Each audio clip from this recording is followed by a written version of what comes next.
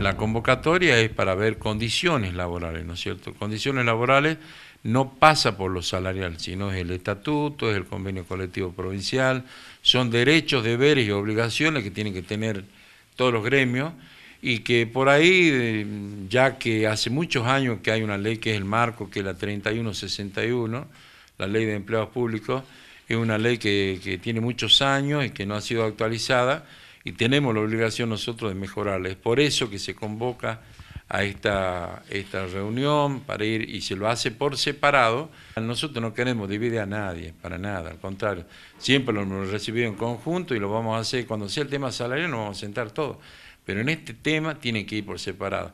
Ellos por ahí cuestionan y hacen comentarios que no vienen a esto y que creo que es una obligación más allá, si ellos no quieren participar, bueno, será un problema de ellos.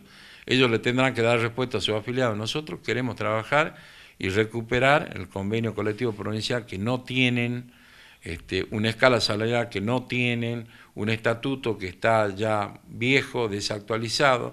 Todas estas cosas es obligación de los gremios de, ponerse al día hacer las cosas. Y nosotros lo queremos acompañar. Es más, este, nosotros vamos a poner nuestros abogados, nuestros contadores, nuestros escribanos, y ellos también. O sea, le vamos a dar la participación y discutir como corresponde en el marco de esta paritaria, porque es una paritaria, para ver condiciones laborales. Simplemente el tema salarial lo vamos a ver como se había hablado después del 22 de junio.